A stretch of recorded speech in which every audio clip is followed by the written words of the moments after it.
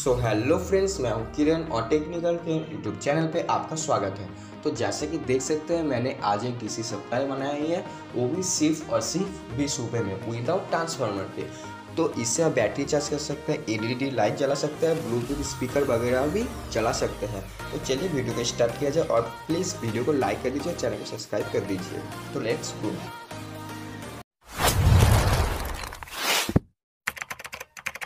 चार I N four double zero seven diode ले लेंगे।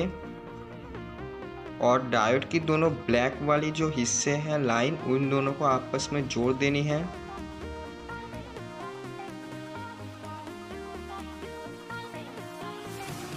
तो ऐसे मैंने दोनों ब्लैक लाइंस को जोड़ दी और दूसरी डायोड हम ले लेंगे। तो दूसरी डायोड की जो सिल्वर वाली दो लाइन है, उन दोनों को जोड़ देंगे।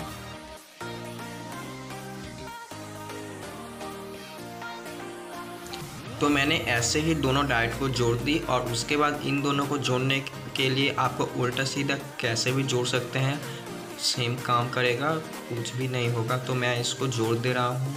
और फ्रेंड्स प्लीज़ वीडियो को लाइक कीजिए और चैनल के बिल्कुल सब्सक्राइब कीजिए फ्रेंड्स और कमेंट में हमें बताइए ये वीडियो को कैसे लग रही है। सिल्वर लाइन वाली जिधर है वो प्लस है और जिधर ब्लैक है वो माइनस है। और ऊपर नीचे एसी का लाइन जाएगा। 225 जे 400 वोल्ट का एक कैपेसिटर लेनी है। 1 मेगा ओम की एक रजिस्टर लेनी है।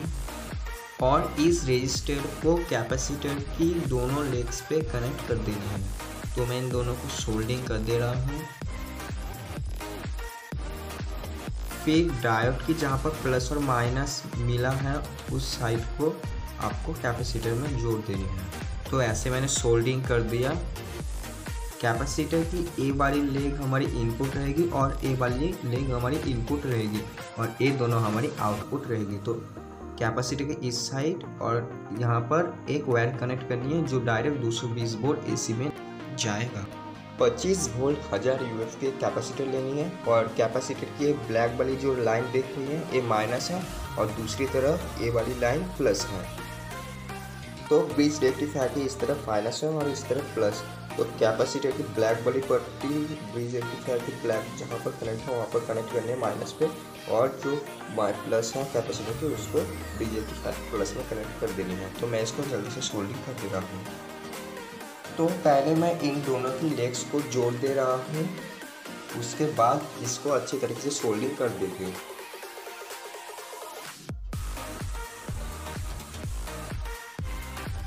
तो मैंने अच्छे तरीके से प्लस और माइनस देख के इसको लगा दिया।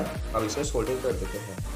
तो अच्छी तरीके से सोल्डिंग हो जाने के बाद ये कुछ ऐसा दिख रहा है तो अब इसकी यहाँ पर और यहाँ पर से हमारी आउटपुट ले लेंगे प्लस और माइनस फाइव वोल्ट की एक आईसी लेनी है। आईसी की पहले वाली लेग इनपुट है, दूसरी वाली लेग माइनस है और तीसरी वाली लेग आउटपुट है। तो आईसी की पहले वाली लेग हम कैपेसिटर की प्लस में जोड़ देंगे और आईसी की बीच वाली लेग को हम कैपेसिटर के माइनस में जोड़ देंगे और आउटपुट की वायर हम अलग से निकाल लेंगे आउटपुट के लिए। तो जल्दी से इसको सोल्डिंग कर देते हैं। आईसी की पहले वाली लेग को हमने कैपेसिटर के प्लस में कनेक्ट कर दिया। और आईसी की माइनस में लेग को हमने कैपेसिटर के माइनस में कनेक्ट कर दिया। तो सभी को मैंने सोल्डिंग कर दिया। इसके बाद आईसी की थर्ड वाली लेग से हम आउटपुट की एक वायर निकाल लेंगे प्लस को और कैपेसिटर की माइनस वाली लेग से हम एक वायर निकाल लेंगे माइनस को। तो और कैपेसिटर और आईसी का कनेक्शन हो गया। उसके बाद कैपेसिटर दूसरी वाली जो है, वहाँ पर से एक वायर निकालेंगे जो कि 220 वोल्ट में जाएगा और डायरेक्ट से यहाँ पर से एक वायर निकालेंगे जो भी 220 वोल्ट में जाएगा। तो मैं अब इसमें सारी वायर्स को कनेक्ट कर दे रहा हूँ पावर देने और लेने के लिए। तो आईसी के थर्ड लेग्स में मैंने एक रेड कनेक्ट कर दी है आउटपुट के लिए और कैपेसिटर की माइनस वाले लेग में मैं ये ब्लैक वायर को कनेक्ट कर दे रहा हूँ माइनस आउटपुट लेने के लिए।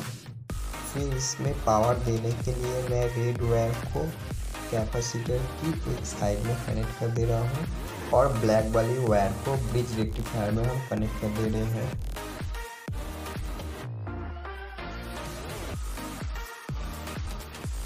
तो ये पूरी तरीके से कंप्लीट बन चुकी है तो अब इसके पावर सप्लाई देकर देखते हैं।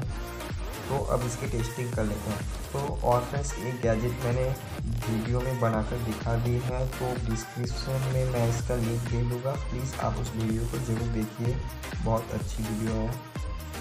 और अभी तक अगर आपने चैनल को सब्सक्राइब नहीं किया और वीडियो को लाइक नहीं किया तो जल्दी से प्लीज़ कर दीजिए और कमेंट में बताइए कि एक वीडियो आपको कैसी लगी।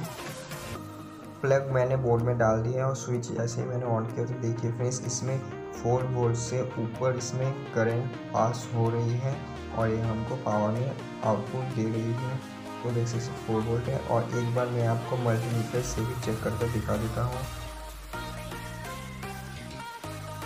तो फ्रेंड्स देखिए मल्टीमीटर में भी 4.98 पॉइंट वोल्ट दिखा रही है। मतलब ये चीज़ हमारी बिल्कुल काम कर रही है।